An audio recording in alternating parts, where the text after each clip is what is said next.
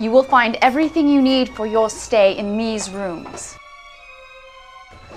Once the study has commenced, we will be unable to communicate with you. You will receive further instructions later.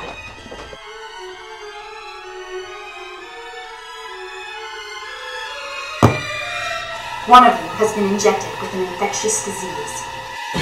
Within 24 hours, it will spread. Within 48 hours, it will kill all. You must decide what to do about this situation. There will be silence.